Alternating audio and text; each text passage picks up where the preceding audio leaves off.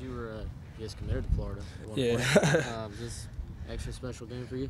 Um, I mean, all my friends, high school teammates, um, good coaches. I know um, everybody at Florida. Um, home team, you know, whole family gonna be there, so it's gonna be a pretty decent game. Who are some of the guys you know? Uh, I guess the most on the Florida team. Brandon Powell, Quincy Wilson, Jordan Scarlett, all neighborhood partners, you know. Is this a trash talk type week for y'all? I mean, it's never personal. It's just business, you know. So everything, everything that goes down on the field just goes down. You know. Have you guys got to watch much, much film on them yet, and, and, and how different are they with with the new quarterback? Um, Treon Harris, he was there last year, so um, not too much different, you know. You had a really big game last year against Florida.